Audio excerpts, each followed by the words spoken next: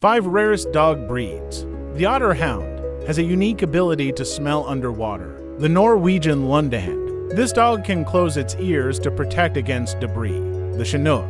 It holds the honor of being the state dog of New Hampshire. The Azawakh. It's an African sight hound known for its incredibly slender frame. The New Guinea singing dog earned its name from its distinctive and melodic howl. Subscribe for more amazing animal facts.